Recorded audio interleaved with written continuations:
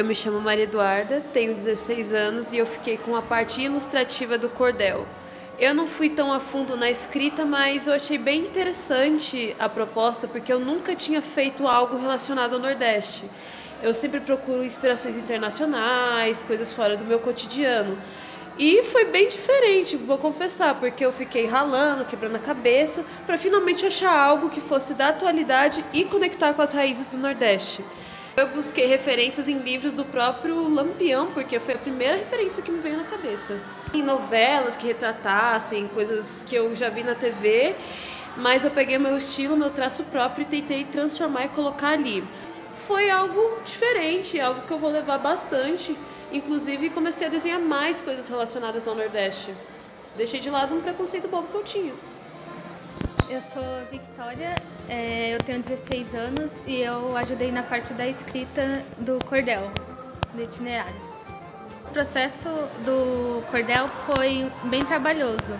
É, eu tive que pesquisar mais a fundo e buscar é, modelos de cordéis para seguir todo o padrão o meu cordel foi um estilo mais de terror, porque eu achei que esse estilo ele causaria mais é, impacto quando as pessoas fossem ler. As aulas ajudaram bastante, sim, porque foi muito bem explicado e eu consegui entender bem o conceito do cordel e sobre como ele devia ser feito. Foi uma experiência nova para mim. Eu já escrevia antes, mas é, não, acho que não do modo certo, não do modo correto. Eu acho que foi uma ótima experiência, porque eu conheci mais sobre o Nordeste e as tradições e com essa experiência eu pude uh, me aprofundar mais nos assuntos. Meu nome é Sara, tenho 17 anos e fiz o cordel com a Tamara.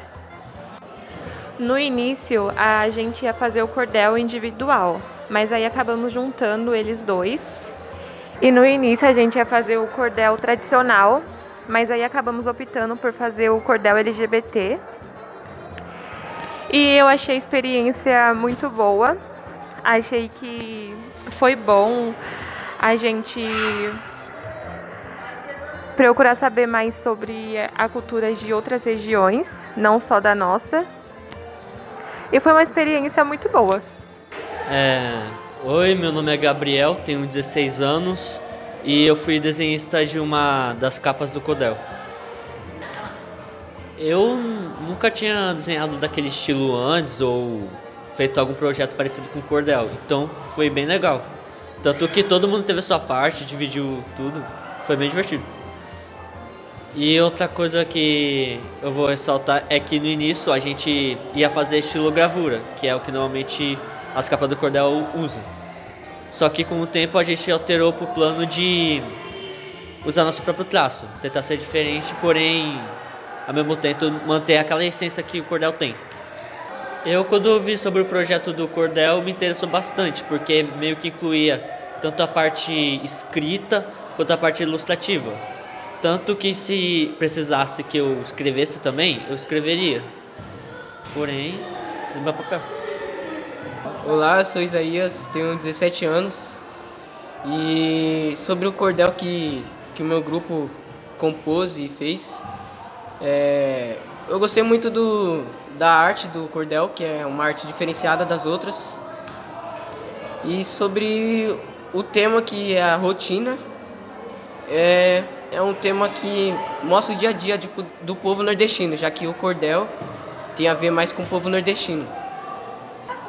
Diferente dos, dos meus amigos que, que participou do meu grupo, que participou do grupo, é que o meu cordel é, é um cordel mais tradicional, que é um cordel que mostra a rotina dos nordestinos. E os outros componentes mostraram mais a, a realidade, a modernidade de hoje em dia.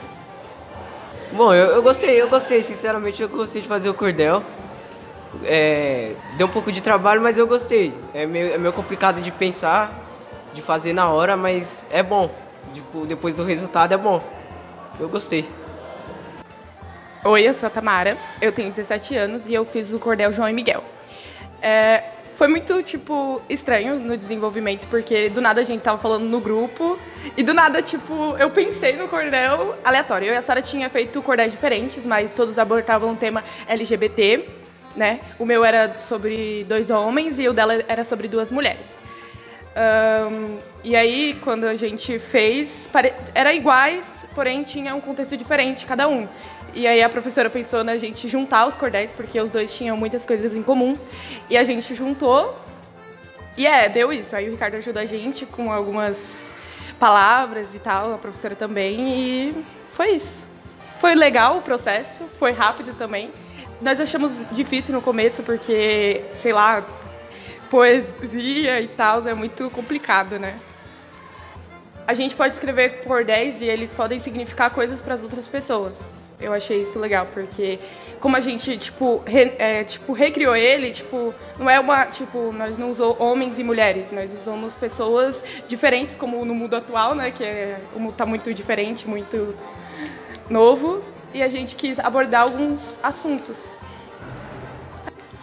Olá, me chamo Ricardo e tenho 17 anos e ajudei no desenvolvimento do cordel. Uh, achei um processo bacana, né, porque adquiri novas experiências na, de vida. Eu ajudei na revisão do cordel, eu reescrevi algumas partes dele. A gente conseguiu entender a, o conceito de cultura nordestina e como ela impacta no, na cultura brasileira. É, oi, eu me chamo Priscila e eu fui a professora responsável é, por esse projeto do cordel. Esse projeto ele surgiu na disciplina de tradições culturais do itinerário formativo a ideia do mapa é que o trabalho final da disciplina de tradições culturais fosse é, uma peça teatral, mas a gente decidiu no meio do processo fazer o cordel, a literatura de cordel. Nas primeiras aulas, a ideia era que eles entendessem a importância do patrimônio cultural para o Brasil é, e como esse patrimônio cultural reflete a nossa identidade brasileira.